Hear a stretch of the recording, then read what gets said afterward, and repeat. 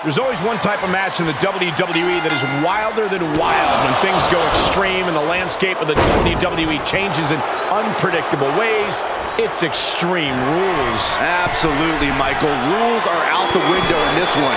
And that on the top rope. Missile drop kick on point. This match's brutality starting to show on him.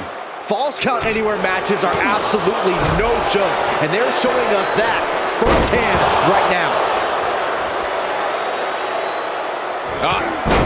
Clothesline knocked down, followed by an elbow. This is incredible. I can't believe the superstar's even in this match at this point. Steps through. Oh! This pace is hard to follow. Byron, a match like this is when we see how merciless someone can be. Hoisted up.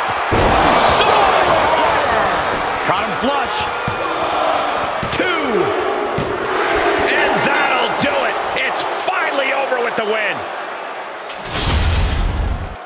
Here is your winner, Daniel Gabby Anderson. Um, what's he doing out here? Pretty sure he's not invited to the after party. And we are looking at the last superstar standing. Turns that back on truth.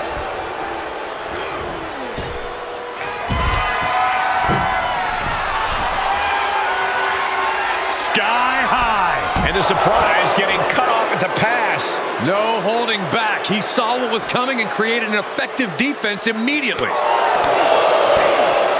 That's going to sting. Taking a moment to get pumped off of this crowd's incredible energy. What's the meaning of this?